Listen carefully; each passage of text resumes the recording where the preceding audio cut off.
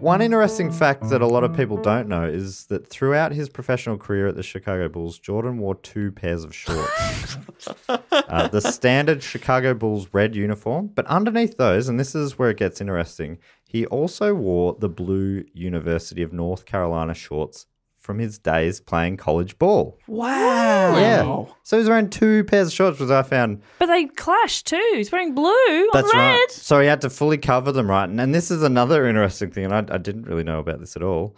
Um, to fit the second pair of shorts underneath, he requested that the uniform manufacturer, uh, appropriately called Champion, Mm. uh, made his shorts longer and wider so that he could fully cover the smaller, shorter, tighter Yep. standard basketball shorts. And Jordan's request changed everything.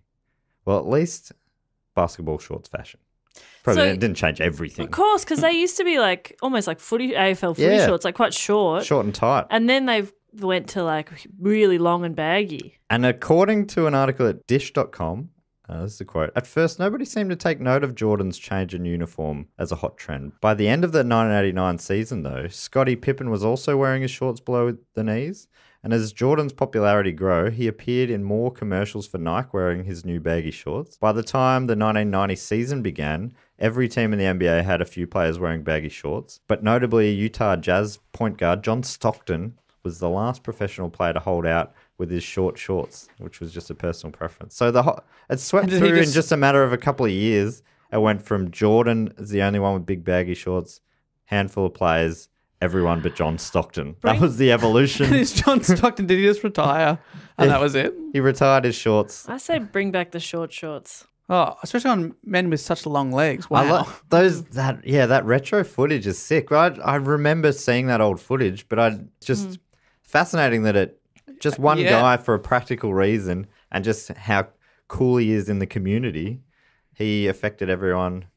That's how it happens though. I remember that happening in high school. Michael Jordan dropped by. Yeah, and we He all wore started wearing our shorts. No, there was a girl at my school who was like very effortlessly cool. She's one of those people. And she had these you talking about yourself in third person again? no, oh god, no. now I'm effortlessly Anyway, uh, you learnt it. You learnt that I skill. learnt Sorry, that. tell me about it. um she wore a specific school shoe. It was a T bar. And Oh, that would be at my school too. Yeah. Well, like, and but the rest of us weren't wearing them. We were all wearing lace up shoes. She had like the sandals. And my mum had been saying for years, you should get these T bars. I was like, oh, mum, no, I want lace up shoes and I'm going to wear socks, not stockings. And then, like, Felicity was wearing T bars and stockings. And I was like, um, mum, I need T bars this year. And uh, can you get me some blue stockings, please? Not wearing the stupid thing you made me wear. I, I hate you. I can't believe you thought this was a good idea. And she was like, I'm going to murder you. So she was that because a flick, as as we Yes, call her, yep. didn't give a shit, or is it is that was that a like a She was just eh, she was just so cool, and then it just kind of spread. Everybody was wearing them, so Oh, she's funny? got and now they've banned them at my old school. ban the T bars. Yep.